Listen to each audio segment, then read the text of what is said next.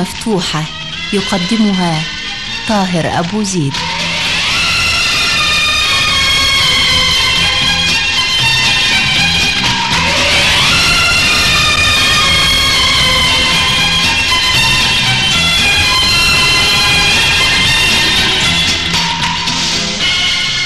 أيها السادة هذا الشاب الأسمر النحيل الذي تلتمع عيناه بالإحساس. وفي صوته عذوبة ورنة حزن رقيق. حين بدأ في أوائل الخمسينات بدأ فجأة نجما متألقا شديد التألق. لم يمر بمرحلة التدرج. ومن يومها يحتل مكانه المرموق بين مطربي هذا الجيل.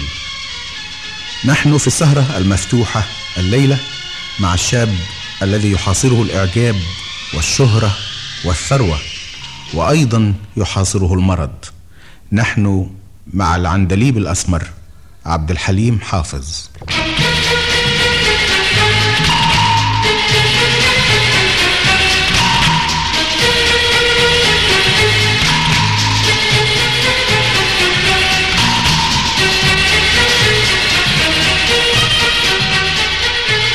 أستاذ عبد الحليم حافظ مساء الخير. مساء النور يا أستاذ طاهر. وألف حمد لله على سلامتك. الله يسلمك. باسم كل العرب. باسم ملايين العرب اللي بيعشقوا صوتك وفنك بأحييك وإنت بتقدم أول حديث لإذاعة قطر. ألف شكر وأنا بأحييك وبحيي مستمعين قطر آه اللي بسجل لهم كمان لأول مرة.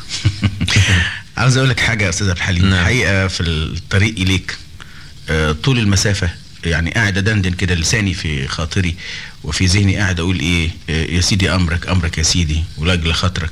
خاطرك يا سيدي. ما أقدرش أخالفك لأني عارفك.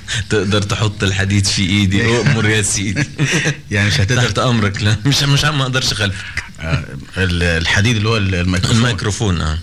طب يا ترى أول مرة اتحط الحديد في بقك الميكروفون. وخواطرك همست بيه في ألحان كان سنة كام تقريبا؟ كان سنة 52 شهر أغسطس 52 آه، بيحضرني هنا حاجة. نعم. آه، أنت كفنان آه، الموهبة في داخلك أنت كنت عازف قبل كده كما أيوة. سمعت. كنت عازف إيه؟ كنت عازف اوبوا. آه، ما اكتشفتش في نفسك أي حاجة تدل على إنك هتبقى في يوم من الأيام مطرب؟ ما حسيتش ولا فجأة كان الاكتشاف؟ لا, لا ده أنا اتعلمت الموسيقى علشان أبقى مطرب يعلم ما هي الموسيقى. أنه أنا درست دبلومين في الموسيقى. دبلوم معهد الموسيقى العربية ده درست قسم أصوات. أي. لما جيت أنتقل للمرحلة الأعلى في التعليم فضلت إنها تكون موسيقى علشان أدرس خفايا الموسيقى. اذا أنت لم تفاجأ بإنك مطرب. لا. لأن كنت عارف فعلا. ان أنا مطرب لكن اتفاجئت إن أنا هبقى مطرب. يعني يعني واللي حطني في الحك في الحتة دي كمال الطويل. آه. الله يمسيه بالخير. آه، إزاي؟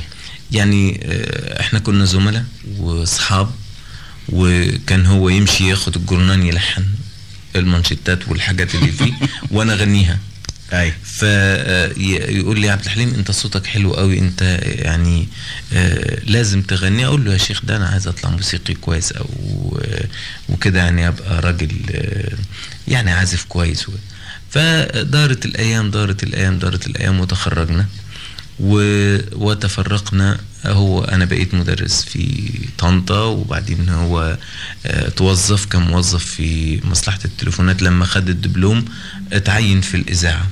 فأنا جيت في مرة أزوره قال لي بس لازم تقدم في الإذاعة. كنت مدرس سنة 52 ها؟ أنت كنت مدرس قبل سنة 52 آه. كنت صغير قوي خالص. خالص. أنا أنا أنا ابتديت أدرس وأنا عندي 17 سنة والنظرة ما صدقتش إن أنا المدرس.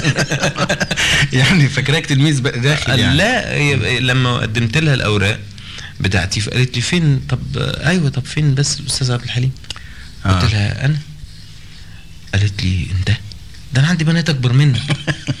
قلت لها طب يعني أنا أعمل إيه؟ يعني قالت لي لا دول بس هيضايقوك ويعني مش هت قلت لها لا معلش ما هي المسألة مش مسألة السن المسألة مسألة الواحد إزاي يعمل كنترول على ال على ال ال- الطلبة بتوعه يعني. فقالت طيب أنا هحضر معاك أول حصة وهشوف.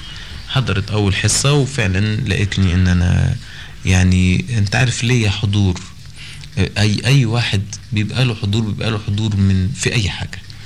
يعني سواء صحيح. في في جلسة أو في تدريس أو في غنى على المسرح أو في سينما أو في رسم أو في في يعني في جلسة خاصة في كلام ده صحيح آه. يعني آه، أفهم من كده إنه زي ما كمال آه، الطويل آه، ساعدك في إنك تكون مطرب أو دفعك إلى هذا أنت. أيضا ساعدته إنه يبقى ملحن أنا خليته يبقى ملحن آه لأنه لأنه لما لما قدمت لل للإذاعة آه، أنا طبعا يعني آه، اعتزلت التدريس بعد سنة لأني إنسان لا أحب الروتين ابدا.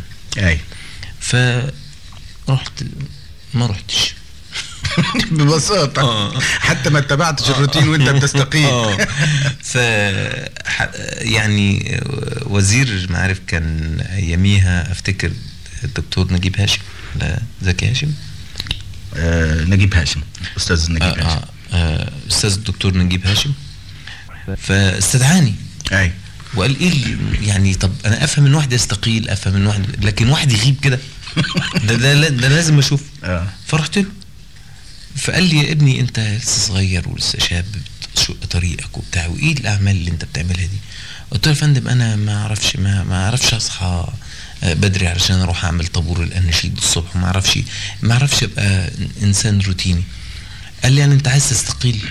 قلت له قال لي طب ما استقلتش ليه؟ قلت له آه يعني ما هي الرفض زي الاستقالة. يعني هي كلها سنة لا هتنضم خدمة ولا هتنضم. انقطاع وبس. وبعدين قال لي شوف بقى يعني فعلا أنت مرفوض لأنك أنت يعني لا تصلح. تصلح ابدا. بعد كده كان هو سافرنا في روما. آه. في وقابلته في الأولمبياد مع بتاع. قال لي شفت بقى؟ لو ما طردتكش أنا من التدريس ما كنتش. ما كنتش بقيت عبد الحليم حافظ. لا كمال الطويل أنا أنا أنا قدمت لفرقة الإذاعة واشتركت كعازف في فرقة الإذاعة. كمال الطويل أصر على إن أنا أغني. فلما نجحت في- لجنة الأصوات بعد تاني وتالت ورابع مرة لأن أول مرة هزقوني قالوا إيه الخواجة اللي جاي بتغني ده؟ ليه ليه ليه خواجة ليه؟ مش عارف. هل شكلك كان خواجة؟ لا. يعني يعني ما ما ما فيش ما, ما فيش عصبية في الأداء ما فيش آه. تغني ببساطه يعني. آه فكان نفس ما فيش النشا اللي بيبقى على المطرب زمان كان يقف وقفة معينة أو يقعد فيش- معينة. آه، آه. آه، عادي آه، خالص. وكانوا بقى طبعا لجنة مكونة من الله يرحمه مصطفى رضا والله يرحمه إبراهيم شفيق. ناس ناس يعني برضو بيحبوا الطرب القديم يعني آه، فأنا ما ما, بطربش طرب قديم. أنا آه، راجل اللي اتعلمت موسيقى عشان آه، أبسط حتى الأداء نفسه. ف... فقالوا لا. يعني ما ينفعش ده مش مطرب ولا بتاع. تاني مرة برضو امتحنوني قالوا لا. أستاذ حافظ عبد الوهاب أصر عليهم طب اسمعوه كمان مرة تالت مرة. قالوا يا سيدي بقى ما ينفعش. يعني آه، طب ما ينفعش ما ينفعش. بعدين جت قامت الثوره وتغيرت الأوضاع وتغيرت اللجان. فالأستاذ حافظ وكمال قدموا لي في اللجنة الجديدة. اللي كانت مكونة من السيدة أم كلثوم والأستاذ عبد الوهاب والأستاذ رياض السنباطي الاستاذ محمد الأصبجي الأستاذ حافظ عبد الوهاب الأستاذ كمال الطويل الأستاذ عبد الحميد عبد الرحمن الناس اللي هم يعني آه لحد ما عصريين شوية أي. ويقدروا يفهموا. آه، آه، الاستاذ عبد الوهاب قال قال لك ده ده أنا أجن بقى، ح- هأجن بهذا الصوت. فيا ناس ده لازم يغني طب خلاص هغني. أي واحد بينتهز الفرصة بيروح يغني أي أغاني. أنا قلت لهم لا سيبوني بقى أنا نقي الغنوا. وغنيت قصيدة. أول ما غنيت غنيت قصيدة اسمها لقاء بعد عامين التقينا هنا. والدجى يغمر وجه المغربي. فرحت الكمال الطويل بالقصيدة. كانت تأليف آه، صلاح عبد الصبور. رحت الكمال الطويل. قلت له شوف بقى أنت خليتني أبقى مغني؟ لازم تلحن انت الغنى يا ابني روح للملحنين المشاهير. قلت له لا يمكن. آه. إحنا أبناء جيل واحد وفاهمين بعض وفاهمين إحساسات بعض فأنت لازم تلحن القصيدة دي. فلحنها. ده بداية غريبة جدا و- لاثنين فنانين. آه و- و- و- واستنيت آه، ست أشهر. آه. يعني أي واحد يبقى عنده استعجال. آه. وانت صبور. قاعد مستني. أنا قاعد مستني. لغاية ما كمال يبقى ملحن ويلحن لك. ويلحن. آه ولحن لغاية ما لحن القصيدة. وسجلناها وأذيعت. ولما جينا نذاعها بقينا محتارين. عبد الحليم شبانه في إسماعيل شبانه أخويا آه. الكبير بيغني في أيوة. الإذاعة. ف الأستاذ حافظ عبد الوهاب الحقيقة كان يعني بيساعدني مساعدات آه، ضخمة جدا في في في اللجان بتاعت الإذاعة. فقال أنا آه، يعني آه، كمال الطويل قال لي الراجل ده هو ساعدك جدا وكده فإحنا لازم نسميك عبد الحليم حافظ على اسمه لأنه فعلا يعتبر زي والدك انما هل أنت نسيت اسم عبد الحليم شبانة؟ لا. منه؟ آه. لا ما نسيتوش آه إنما باستمرار عبد الحليم حافظ عبد الحليم حافظ آه. بالممارسة يعني بالممارسة ما ننساش محدش ينسى نفسه يا ترى القصيدة الأولانية دي بتاعت آه, لقاء آه والدجى يغمر وجه المغربي يغمر وج... مش موجودة موجود, موجود. في مكتبة آه. الإذاعة طبعا لأن الناس فاكرين إن أول قصيدة آه صفيني مرة وجفيني مرة أو الغنوة يعني آه لا اول لا غنوه لا لا لا, لا. مم.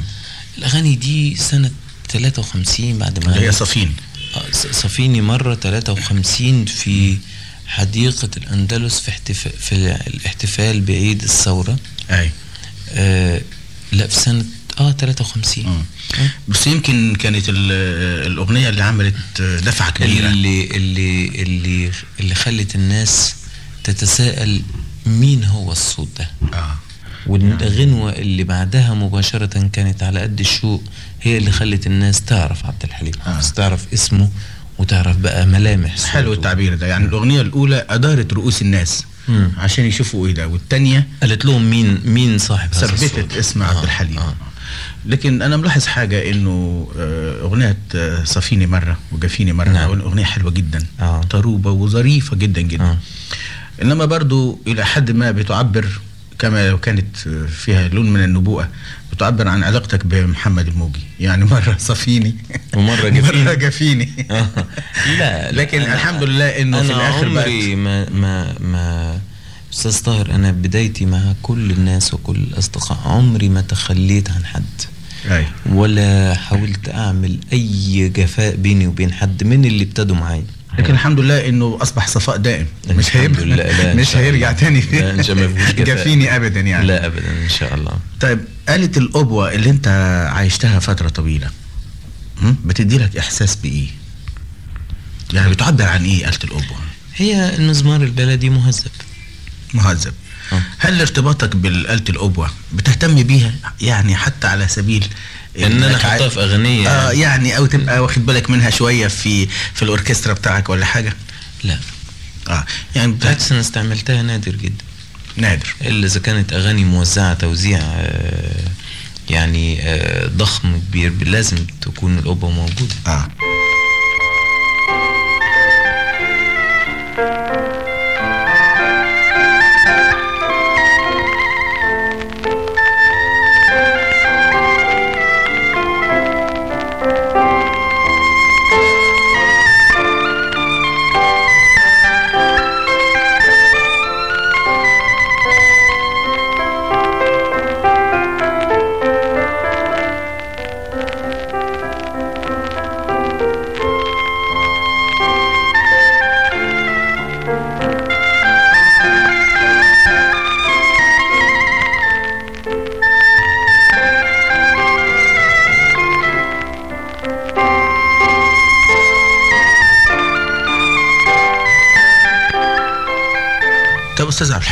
انت فنان من من شعر رأسك إلى أطراف أناملك فعلا. ممكن تديني صورة عن قريتك؟ صورة مرسومة يعني. لوحة. آه, آه. يعني الحتت اللي أثرت فيك. المنظر اللي ما بتنساش. الحتة اللي أثرت فيا طريق ال- الجزورين شجر الجزورين. و... والواحد ماشي فيه بيشوف قطر الدلتا وهو بيعدي وبعدين ترعة على يمينك سواقي على الترعة وحيوانات تدور فيها بتعبر عن يعني جهد آه، ال- الحيوان مع جهد الإنسان والجوامع.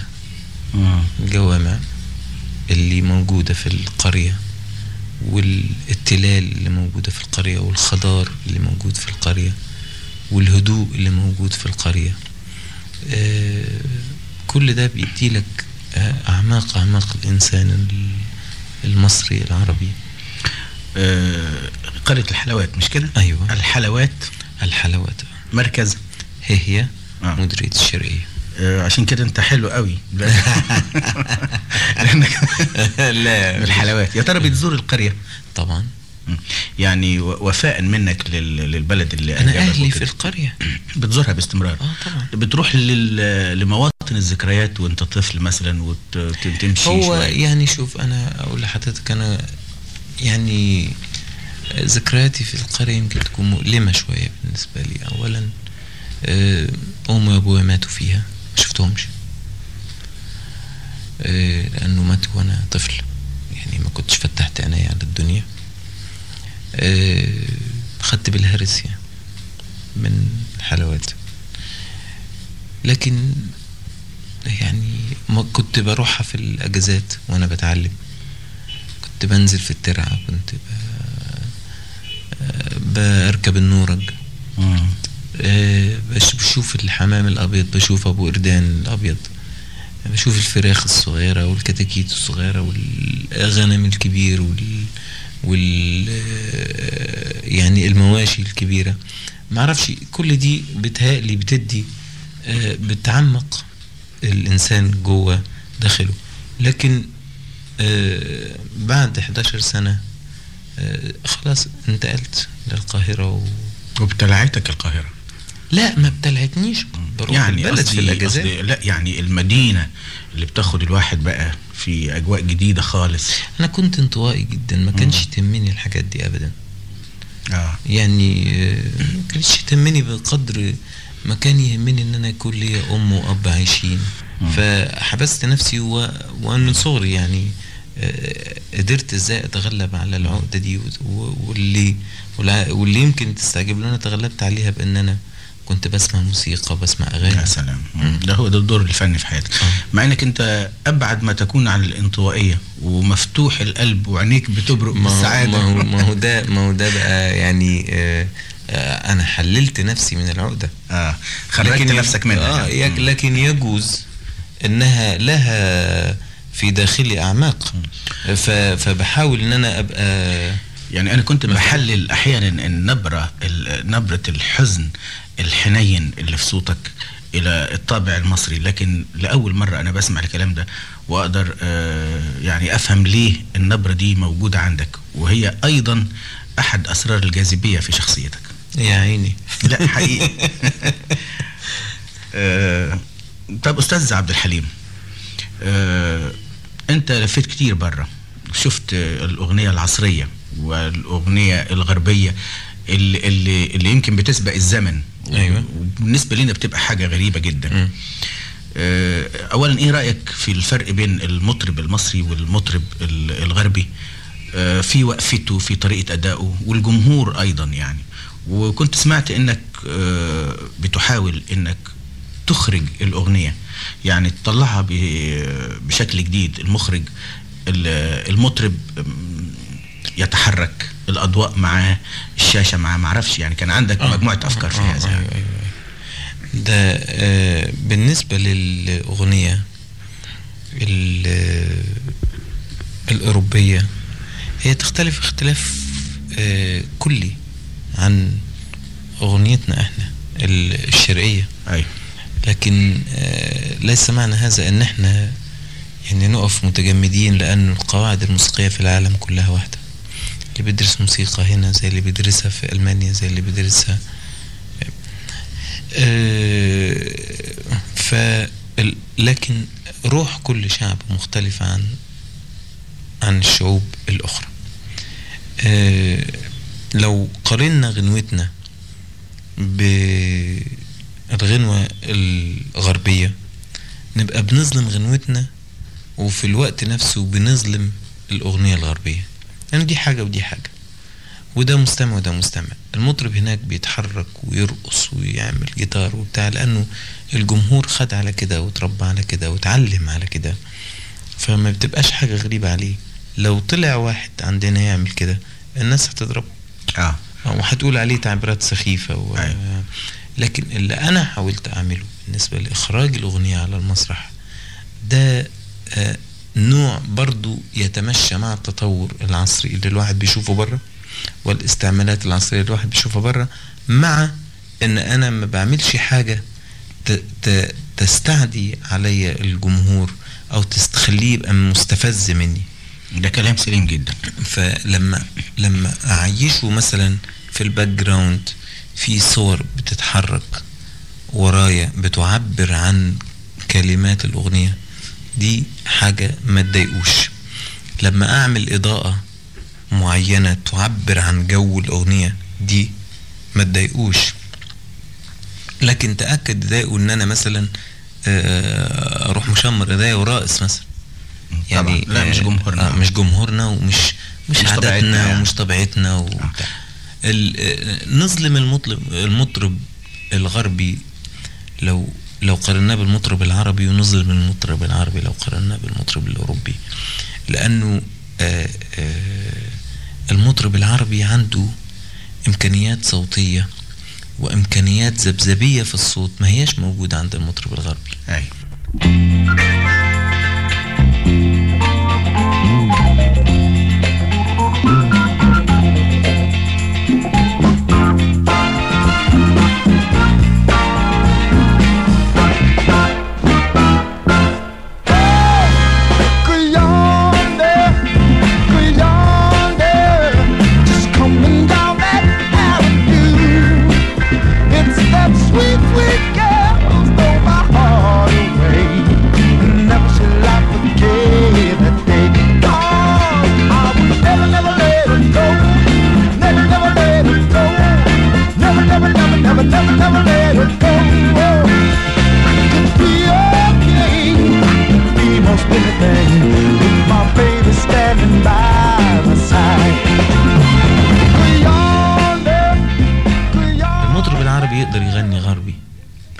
مش هيقدر يغنيه زي اللي اتربى وعاش في أي. هذا الجو أي. لكن يقدر, يقدر يغنيه. آه. لكن المطرب الغربي لا يستطيع أن يؤدي آه. الغناء العربي عشان الربع تون مش والحاجات دي بس عشان الربع تون إحنا عندنا أغاني كتير ما فيهاش ربع ربع تون تون.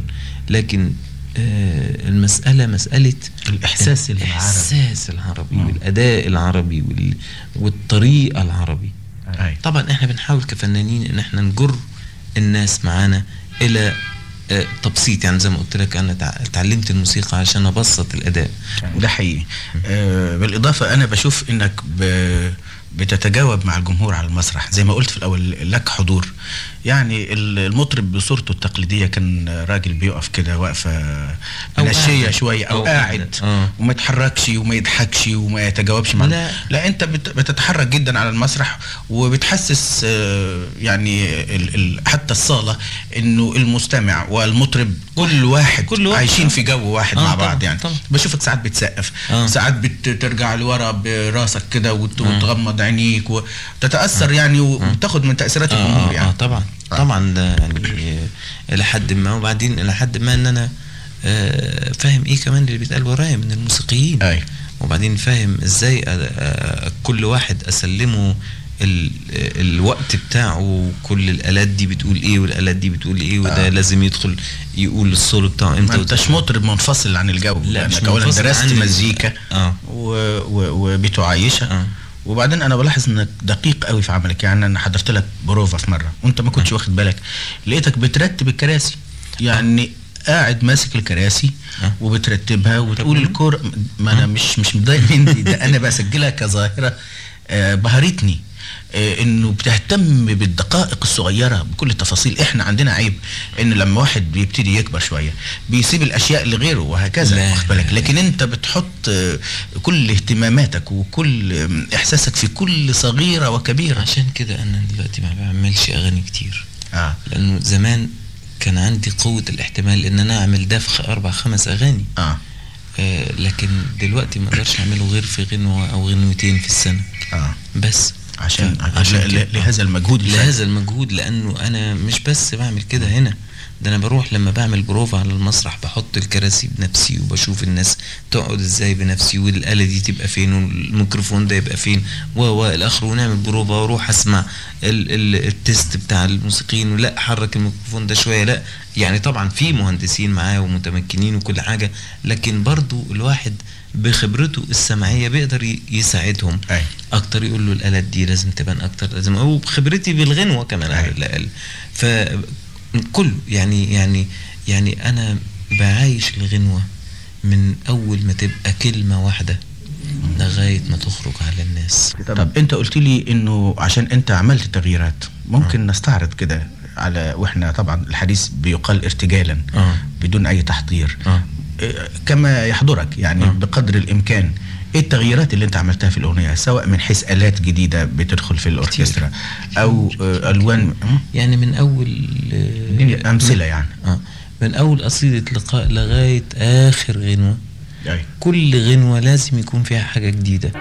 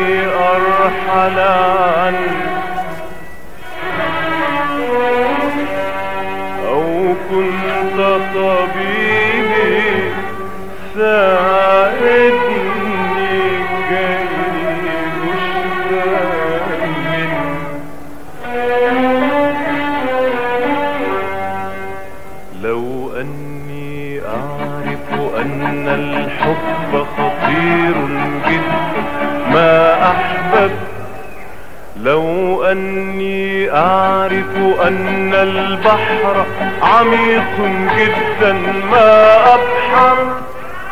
لو أني أعرف أن الحب خطير جدا ما أحببت لو أني أعرف أن البحر عميق جدا ما أبحر. لو أني أعرف خاتمتي ما كنت بدأت وبعدين آه، المطرب كمان لازم يبقى يبقى مش راضي عن نفسه واخد بالك ده ده إحساس ال- الفنان الأصيل آه. إنه باستمرار لأنه كل ما ما يرضاش عن نفسه كل ما هيعمل فترة تغيير في في آه، حياته الفنية هو شخصيا أيوة. يعني أنا عندي مراحل في حياتي الفنية آه. نفسي عندي مرحلة شوية. لقاء أيوة. وعندي مرحلة آه، بعد كده صفيني مرة وعلى قد الشوق عندي بعد كده مرحلة في يوم في شهر في سنة أيوة. عندي مرحلة الأغاني الوطنية أيوة. عندي مرحلة بعد كده آه، الأغاني الصغيرة السريعة عندي بعد زي كده إيه؟ آه، يعني زي مثلا آه، أنا كل ما أقول التوبة آه، سواح آه. آه، على حسب وداد قلبي أيوة. عندي مرحلة بعد كده الغنوة الطويلة اللي هي يبقى لها مفهوم جديد. ده استعراض لكل الفنون المشتركة معاك. استعراض للكلمة واستعراض للألحان واستعراض لمقدرة الموسيقيين على الأداء واستعراض للآلات اللي مشتركة معاك و و آخره. وبعدين كل كوبليه لحن. لحن أيوة. حلو. صحيح بيربطهم قصة كتاب مكتوبة كلاما وقص ودراما آه، لحنية ولكن لو لو فصلت كل كل كوبليه من الغنوة هتلاقي عندك غنوة.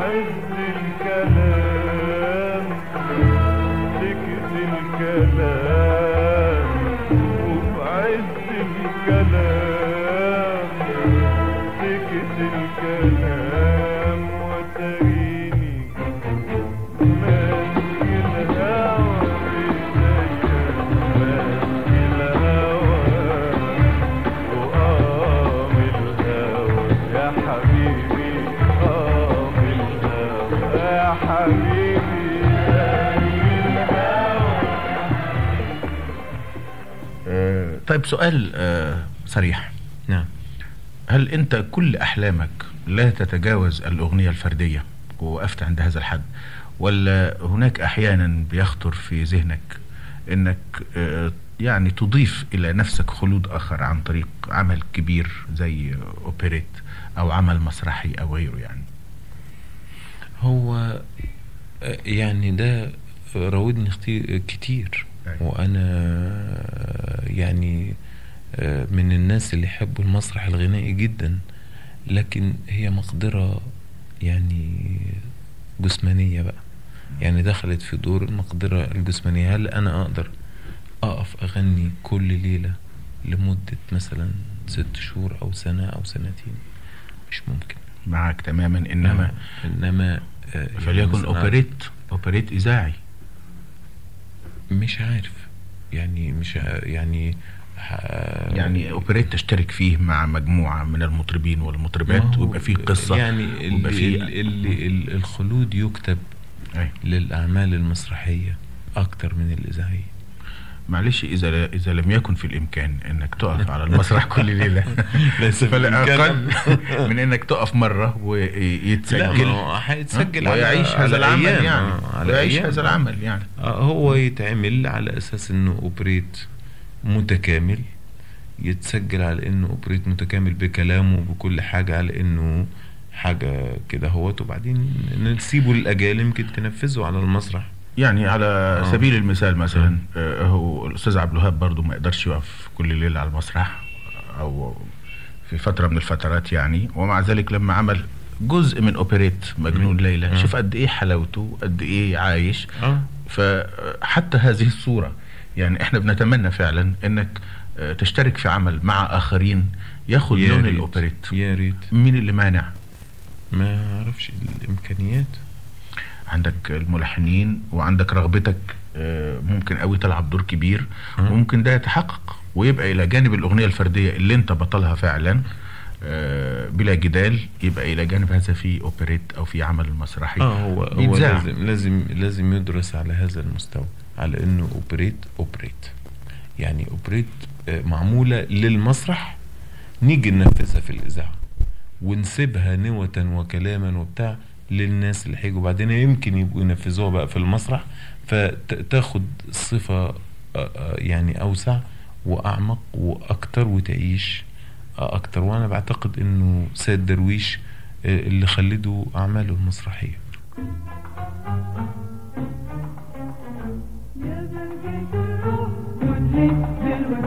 يا بركة الروح مدلت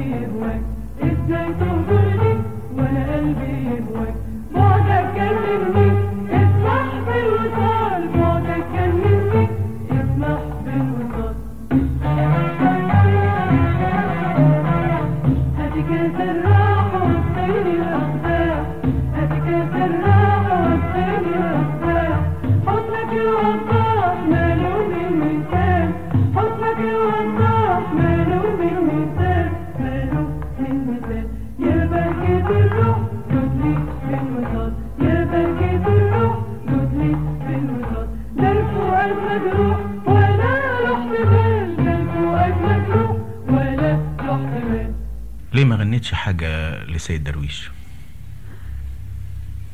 أنا عصر مختلف. آه، وليكن. أنت مش بتغنيها حتى آه، يعني باعتبارها آه، يعني تاريخ. تقييم. آه تاريخ. آه تقييم لعمل أنت بتجدده. طب ما عبد الوهاب قال بعض قطع لسيد درويش وأعتقد إنه غناها أحسن من سيد درويش نفسه. قالها على العود يعني؟ آه قالها على العود. آه في قاعدة كده يعني؟ آه.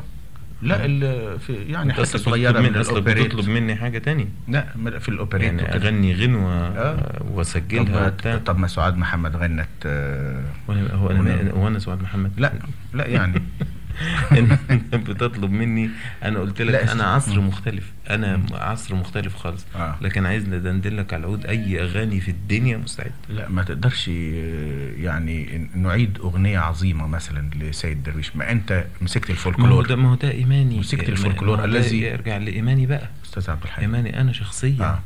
يعني عاوز أقول إيه؟ الفولكلور ليس من عصرك? و... وكثير جدا. الفولكلور ليس من عصر الفولكلور من عصر بلادي. أيوه مش من مش من زمنك يعني آه. بمعنى إيه مثلا أنا كل ما. أقول أنا كل ما أقول التوبة وغيرها من الحاجات اتقالت في زمن مضى ومع ذلك أنت كده بالحان أخرى طبعا آه خدنا الكلام آه، يعني خدت. ال... خدت ال... ال... ال- لا. التيمة لا الأولانية لا. م? لا متأسف متأسف وأرفع صبعي وأقف وممكن تذنبني وتقول لي حط راسك في الحيط ووشك في الحيط وحاجة كده لا بألحان أخرى خدنا الكلام فقط لا غير. أنا كل ما أقول التوبة أنا كل ما أقول التوبة. يا أبويا ترميني المجادير يا عين. مش؟ أنا كل ما أقول التوبة يا أبويا. ده ده اللحن بتاعي. آه. التاني حاجة مختلفة خالص. أنا كل ما أقول التوبة يا أبويا ترم. إيه, إيه علاقة ده بده؟ حاجة مم. مختلفة خالص. م. على حسب وداد قلبي حاجة مختلفة خالص. آه سواح حاجة مختلفة خالص. جنة الهوى حاجة مختلفة خالص. ناخد الكلام. حتى لو ما كانتش مختلفة ففي اعتقادي إنه أمر لا يشين يعني. مش مسألة لا يشين. مسألة إنه أنا باخد الفولكلور بتاعي الكلامي وب... وحتى لو كان لحني أحطه مع روح العصر اللي أنا عايش فيه. لكن هل ورثة سيد درويش هيسمحوا لي إن أنا أجري تبديلات وتعديلات على أغاني سيد درويش؟ لا. لا بالنسبة لورثة سيد درويش بالذات ما اعتقدش إنهم يسمحوا لك يعني. آه. أستاذ عبد الحليم حافظ. نعم. آه. نعم يا أستاذ طاهر أبو زيد. يعني الحقيقة الجيل الجديد بيجد نفسه فيك أكتر من أي حد تاني. والجيل ده الجديد شرف كبير جدا. لا حقيقة. يعني هذا ال- الكلام اللي بقوله دايما بيطلع من القلب ومش مقصود يا بيه سيدي أنا أي أنا حاجة. إنسان بسيط. وإنسان آه، آه، يعني عادي. عادي. ويمكن هو ده اللي إدى الناس الإمبريشن إنه إنه ممكن إنسان أي إنسان عادي يبقى آه، في يوم من الأيام يقف في مكاني يعني آه، حقيقة آه، يعني أحاسيس الجيل الجديد وطريقة التعبير بيشوفوها عندك أكتر يعني آه. وإحنا أنا مثلا كجيل مخضرم يا عيني يا عيني بشوف بشوف إنه الجيل الجديد ابتدى يبعد عننا شوية الجيل الجديد لازم يرقص آه. و... ولازم يمارس حياته بحرية وبيؤمن آه. بحريته الكاملة آه. آه، إلى أي حد أنت بت... بتديله وبتعبر عن مشيئته دي خلال أغانيك. بمعنى آخر هل بتقدر تعمل أغاني راقصة الناس يرقصوا عليها بدل ما يرقصوا على الأغاني الأفرنجي؟ وليه ما قدرناش نعمل أغاني عربي الناس يرقصوا عليها في المحلات بدل ما بيرقصوا على أغنيات أجنبية فرنسية أو إلى أو ال- إلى آخر الأسماء توم جونز وغيره وغيره اللي أصبحوا بيعرفوها النهارده وبتزاحم عبد الحليم حافظ وغيره وغيره من المطربين مهما مهما كبرت هذه الأسماء في العالم العربي لا يمكن في قلب الإنسان العربي تكبر على على المطرب بتاعه ابن وطنه أولا يعني أيوة. ده ردا على. آه، ثانيا آه، آه، الجيل ده كله اللي هو جيل الشباب آه، جيل آه، يعني نقدر نقول إنه جيل حتى آه، ما بعد هدوء الحرب العالمية الثانية يعني جيل ابتداء من الخمسينيات حتى ده أيوة. الجيل الجديد اللي أنت أيوة. بتحكي عنه الجيل الجديد ده جيل قلقان جيل آه آه يعني مش حاسس بالأمان. ضايع. آه مش مستقر. آه متلهف. آه، فكل الحاجات دي يعني هي اللي بتخليه يقول لك أنا عايز حريتي. أنا آه، أنا موجود. آه، أنا لا أنا ما احاربش مش عارف فين. لا أنا أحارب فين. لا أنت مش عارف إيه. لا. يعني رافض. جيل رافض وجيل متمرد وجيل راضي وجيل غير راضي يعني بتجد كل المتناقضات فيه أي. فهذا الجيل آه، طبعا عايز يرقص وعايز يغني وعايز يهيص برضه من ضمن قلقه أي. يعني مش مش مش إنه يعني دي آه. من ضمن قلقه النفسي أي. إنه عايز يجي بالليل وينهك جسده علشان يقدر أنت ينام ضد الرقص ده يا أستاذ عبد الحليم لا ما انتش ضده اطلاقا طب. اذا آه، حتى آه، الرقص ده موجود حتى قبل القلق ده وموجود حتى لا، عند العرب مش, مش بالطريقة معلش بصورة أخرى أه؟ يعني آه، موجود في رقصات قومية في الدبكة أه. موجود حتى في في سواحل الجزيرة العربية اللي هم رقصات أيوة، أيوة. آه، على الأناشيد وغيره الرقص موجود منذ وجد الإنسان مم. إنه تطور وبقى عنيف لأن العهد بقى عنيف وبقت آه، يعني العهد. الآلة، آه، وال- آه. والعهد. والقلق وال... إلى آخر م- ما يحمله لا، الشباب. كل مجتمع الصناعي ما بيكبر كل ما صحيح. القلق بيزيد. المدنية وأثقالها. آه، آه. ليه ما بتعملش أغاني راقصة للشباب؟ شوف أستاذ طاهر أنا أول ما طلعت بعد لقاء وكده لغاية ما غنيت صفيني مرة أنا عملت يمكن 150 غنوة راقصة. لكن للأسف إنه إحنا شبابنا بيحب يرقص على الأغاني الأوروبية ليه ما تعرفش يعني أنا أنا شخصيا هل يعني هي عقدة الخواجة ما أقدرش أقول لك عقدة الخواجة لأنه لأنه هو بيخرج وبيشوف إنه العالم كله بيرقص على الأغاني دي هي انصافا ليه يمكن لأنه بيجد إن المزيكا إيقاعها أسرع وأكثر ممكن. ثراء ممكن. آه. والكلمات آه. آه. أكثر تعبيرا يعني لو عملنا آه. مجهود آه. في الحكاية دي آه. بلا شك نقدر لا ن- لا هنوصل هنوصل في مجتمعنا العربي لكن مش هنوصل للعالم. معلش إحنا آه، على إحنا الأقل اللي يهمنا مجتمعنا آه، العربي طبعا. في البداية. إنه ما دام إحنا ما نرقص على أغانينا على الأقل بدل ما نرقص تأكد إنه في رقص على أغانينا برضو. آه. يعني يعني في رقص شرقي على أغانينا. أيوه. طبعا أنا ما بقصدش الرقص الشرقي. طب بالمناسبة ده بيجرني أيضا لحاجة تانية. آه. آه، يعني أنت آه، شديد الإعجاب بالأستاذ بليغ حمدي وهو ملحن مقتدر بلا شك. آه. هل تعتقد إنه كل الإيقاعات الشرقية ممكن تصور كل العواطف الإنسانية؟ هل تعتقد إنه الإيقاع الشرقي الراقص ممكن أن يعبر عن الحزن لأنه بليغ مليان إيقاعات أيوة. وإيقاعات راقصة؟ هل الإيقاعات الراقصة دي ممكن آه، يعني في بعض آه، أغانيك بلاقي لحظة حزن وفيها إيقاعات راقصة؟ فهل ممكن هذه الإيقاعات الراقصة تعبر عن لحظة الحزن. آه. إزاي؟ ممكن. جدا. ده ده إحنا عندنا آه يعني الشعب العربي أغنى الشعوب العربية بالايقاعات يعني من المحيط للخليج. أي. أغنى الشعوب العربية بالسقفه يعني. بالايقاعات لا. لا بالإيقاع. آه، بمختلف على ال- ألوانه. على الآلات الإيقاعية. كويس. يعني أغنى شعوب الأرض كلها في الإيقاعات الشعب العربي. ف وهناك آه، يعني يمكن أنت بتسميها إيقاع راقص على جملة حزينة.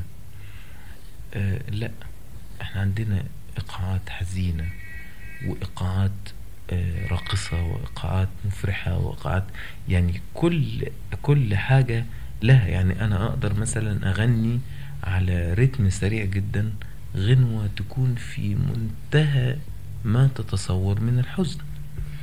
أي معلش. وأقدر أحط عليها الميلودي أصل إيه اللي بيخلق جو ال- الحزن؟ مش الإيقاع. الايقاع ده عامل مساعد في الأغنية. اللي بيخلق جو الحزن هو الكلمة والميلودي اللي أو اللحن يعني اي بتاع الكلمة دي. أنا مش ضد الإيقاعات ولا استعمالها لأن الموسيقى بتعتمد على الإيقاعات مم. والإيقاعات موجودة في جميع. أنحاء العالم مم. لكن بتكلم على الإيقاع بتاع الرقص الشرقي وهو غالبا رقص بهيج ورقص حسي مم. ورقص ما بيديش تعبير عميق قوي عن النفس الإنسانية هو إيقاع بيدي تمضية وقت تمضية وقت ببهجة. طاهر كون حد استعمل آه، الرأس الشرقي. غلط ده مش ذنب الرأس الشرقي لأنه لما تكونت فرق قامت على الفلكلور ال- الشرقي نجحت زي فرقة رضا وفرقة ال- الفنون الشعبية. أيوه بس هي طورت هذا الرأس يعني خدت منه حركات أ- إذا- عملت منه تكوين. أيوة. تكوين. إذا يعني مش ذنب أنا الرأس. حضرتك عارف ان أنا آه، كنت مدير الفرقة القومية للفنون الشعبية. أيوة أيوة. و- وخدوا فعلا من ال- الحركات الراقصة الشرقية وعملوا تكوينات في آه. منتهى الجمال. آه. لكن يعني هل هم ما بيقفوش يهزوا وسطهم؟ بيقفوا. هل هم ما بيقفوش يهزوا أجسامهم؟ بيقفوا. آه. زي زي يعني عندهم كل ما يمكن أن تتمتع به الراقصه الشرقية الفردية آه. يعني واخد بال حضرتك آه. لكنهم بيستعملوا كل هذا لخدمة موضوع آه، معين الهز هنا بي بي بيبقى جزء من تعبير جزء من تعبير آه ما أنا مش الهز. بحد ذاته. يعني عشان كده بقول لك مش ذنب الرأس مم. ده ذنب اللي بيرقصه.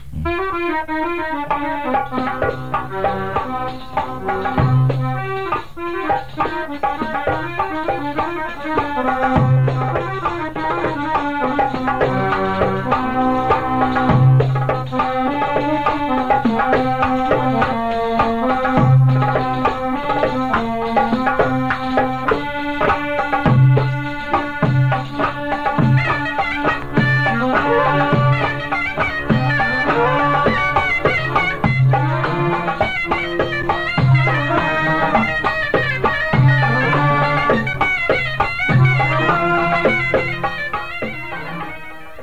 بمناسبة آه، تهدى الجراح وتنام هل جراحك انت الشخصية هدأت ونامت؟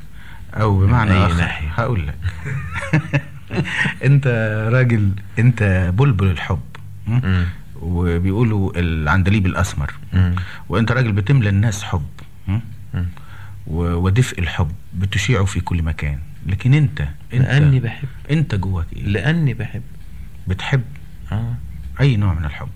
بحب الناس وبحب عملي وبحب بلدي وبحب أهلي بحب أصدقائي. آه كل ده أرقى أنواع الحب. وبعدين عندي إنسانة بحبها كمان. يعني آه، ولو ما كنتش قلت الجزء الأخير كنت هقول لك أنا كنت متوقع الإجابة الأولانية يعني. آه، وطبعا آه، أنواع الحب الكبيرة اللي بتاخد الإنسان. إنما برضو بيبقى للإنسان اللي قاعد باستمرار. يقول كلمات للحب. آه. ان هو يبقى في داخله حب لنفسه يعني وكده. آه. يعني حب مش لنفسه حب ل... ل... لإنسان آخر يعني. آه. ما أنا قصدي يعني يحب حب حد تاني يحب حد. حب لقلبه نفسه. آه. واخد بالك. قلبه يعيش. وينبض بيه. ويلهمه. الإلهام ده موجود في حياتك؟ أكيد. ما طبعا مش هتدخل أكتر من كده. ميرسي أوي. الف شكر طب أستاذ عبد الحليم آخر سؤال عاوز أقوله لك الحقيقة. نعم. كويس آه، قوي أنت ليه؟ إنه آخر كويس إنه الآخر يعني؟ لا كويس قوي يعني مستعد. آه. آه لو قلت لك آه تقول لي آه آراء سريعة في الشخصيه التاليه نعم. أم كلثوم. معجزة. عبد الوهاب. معجزة أكبر. إزاي معجزة أكبر؟ فسر لي. لأنه عنده موهبة الصوت وموهبة الخلق. هل معنى كده إنه معجزة أكبر. لا يعني ال- المغني اللي ما بيلحنش. آه، يبقى. أقل يبقى أقل من من المغني اللي بيلحن. طبعا. طبعا. على طول الخط. مش كل واحد يلحن كمان. آه. مش كل اللي لحنه أي. يعني مش كل مطرب أنا ممكن أمسك العود وألحن. آه. بس هتطلع ألحان لا وهتطلع أقصد ملحن والناس- ملحن. أقصد ملحن ملحن. ملحن طبعا. ملحن حقيقي. طبعا. طب ما الذي يستطيع ال- المغني آه، إضافته إلى العمل الفني؟ سريعة. انت ما بقتش اصلك قلت حاجة آه، يعني لازم تخلينا آه، نجوز خلالها شوية. آه. يعني هل يستطيع ال- المغني إيه اللي يستطيع المغني أن يضيفه بأدائه إلى العمل الفني؟ إحساسه ودراسته وخبرته وعم وعمقه و... وأبعاده وفكره وثقافته و... يعني مثلا أم كلثوم لما بت بتغني آه، لحد شوف قد إيه بتضيف روح بتضيف بتضيف الإضافة الكبيرة يمكن إضافة كبيرة جدا. بتبقى إلى حد آه، يمكن لا- أكبر من اللحن. لا يخرج عن حدود اللحن. لا يخرج عن حدود اللحن. آه إنما بتعرضه يعني هي المسألة مسألة إيه؟ مسألة عرض بقى. قلت يعني في واحد. ياخد اللحن هو يموته. أنت فاهم إن كل مطرب ممكن يبقى معجزة؟ ده هي معجزة واحدة عندنا هي آه. أم كلثوم. آه. طب أستاذ عبد الحليم أنا تعبتك ورغم قلت لي امرك أمرك يا سيدي. إنما نفذت فأنا الحقيقة أشكرك جدا وأحييك من كل قلبي وبحس إن كل المستمعين ملايين المستمعين بيتابعوك وبيتمنوا لك كل الصحة وكل التوفيق وإنه قلبك يزداد شباب واخضرار ويونع أكتر وتغني أكتر وتغرد أكتر. ألف شكر لك والمستمعين إنهم استحملونا المدة دي كمان